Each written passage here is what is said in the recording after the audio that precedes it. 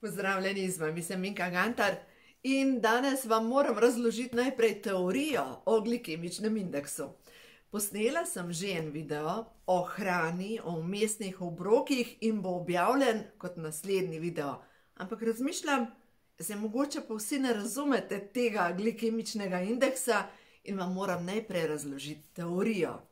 V glavnem, kaj se dogaja v našem telesu, ko pojemo recimo nekaj, kar vsebuje ogromno sladkorja. Dejansko se zgodi v telesu, da naraste sladkor, potem nam pade sladkor in takrat dobimo luknjo v želodcu in dobesedno kikej hrane. Se pravi, cukor mi je padel. In potem pojemo slad, nekaj sladkega, spet gor in dol in tako naprej. In predvsem, kdor spušča obroke, se pa zgodi, da je takole in ko pride do hladilnika, se ne more ustaviti in poje pol hladilnika in potem pade dol, ker mu v bistvu nabije sladkor in potem pade dol. Tako da v bistvu, če želimo uh, imeti občutek sitosti, če želimo, da, um, da telo začne porabljati odvečno maščobo, je cilj, da sladkor ostane v ravnovesju. Se pravi, prva zakonitost zdravega hujšanja je, treba je jesti na dve uri pa pol do tri ure. In prva zakonitost je, kdor spušča obroke, enostavno se redi. Tako da to je res prva, prva zakonitost, jaz vam povem iz svojih izkušenj.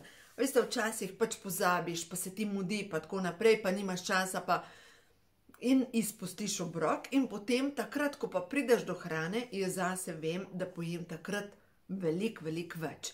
Seveda, to je zaradi sproščanja hormonov, sprošča se hormon grelin in ta hormon grelin povzroči, da pojemo v istem obroku celo do trikrat več. Če pa jemo na dve uri pa pol, pa dejansko se to ne zgodi.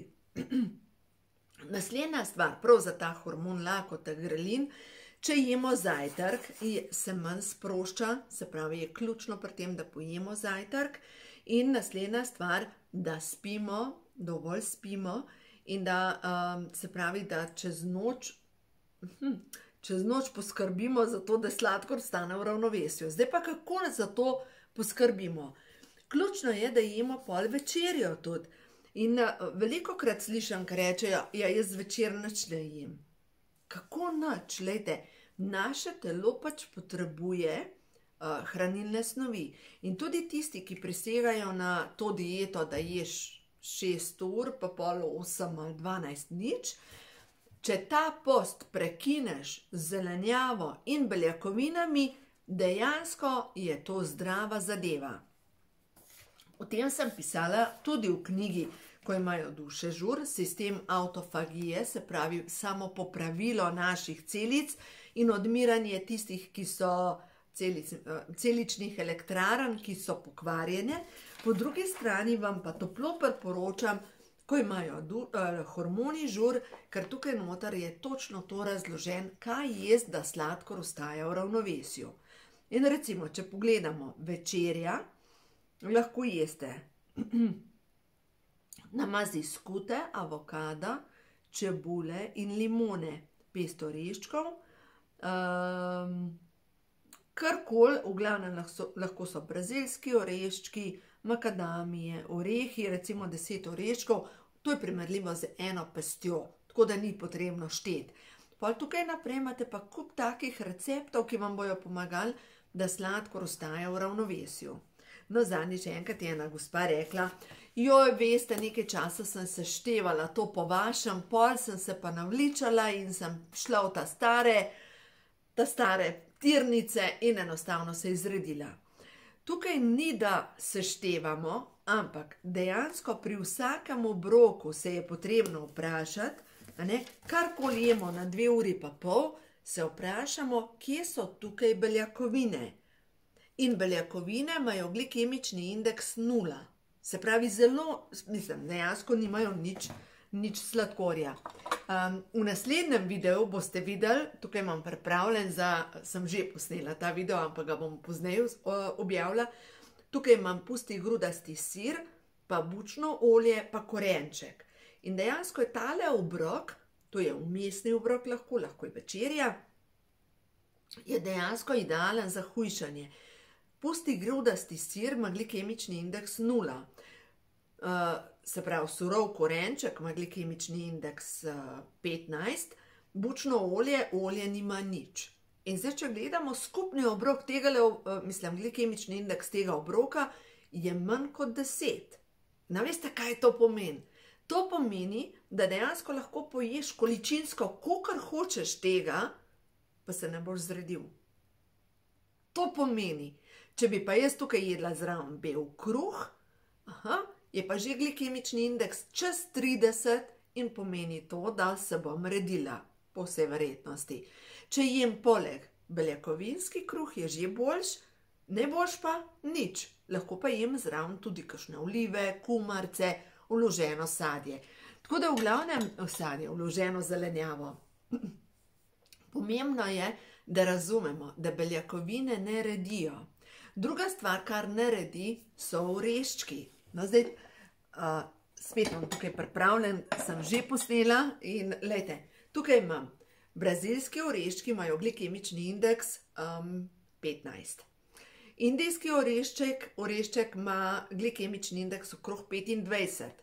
Mandli imajo glikemični indeks 5, uh, 10 do 15. Um, rozine imajo pa glikemični indeks okrog 50. In rozine so dejansko tukaj noter problematične. Tudi indijski oreščki imajo preveč sladkorja.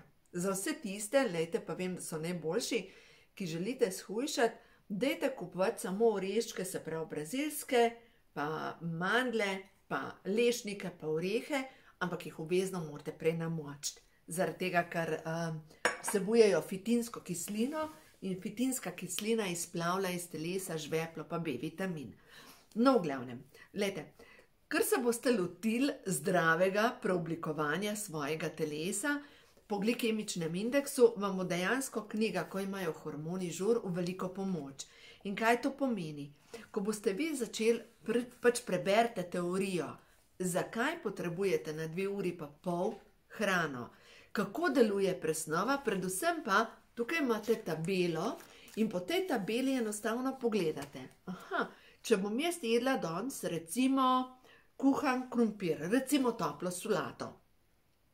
Kuhan krompir ima glikemični indeks tam okrog 90. Hm, to je zelo visok glikemični indeks. Če jaz zraven narežem regrat, ki ima glikemični indeks 15, se to dvoje sešteje, se pravi 90 plus 15 je 105 deljeno z dve živili. Hm. To je zdaj še zmerom okrog 55, 52. To je absolutno preveč. Vse, kar je čez 30, me redi. Se pravi, potrebujem v istem obroku nekaj od beljakovin. Zdaj pa pogledajte, če dodam še tudi v toplo solato, pa še recimo skuta, lahko jaz dam noter um, krompir, regrat in dodam skuto noter. Ali pa si recimo takole pripravim, uh, gruda, uh, skuto z uh, bučnim oljem. Kaj to pomeni? Ali pa jajce noter narežem. Jajce ima glikemični indeks 0, skuta 0. Se pravi, krompir smo rekli 90, plus uh, regrat je uh, 10 ali pa še to ne, 5 mogoče. Se pravi, smo tam okrog 100. 100 plus nič, če damo skuto, je spet 100, deljeno s tri živila, pomeni, da smo že okrog 30. Dobesedno, ko dodajam beljakovine k takemu obroku, kjer je ogromno oglikovih hidratov, dobesedno se znižuje glikemični indeks in vse, kar je pod 30, je za hujšanje. Zdaj pa samo še en nasvet za vse tiste, ki imate radi zdaj recimo regratovo solato.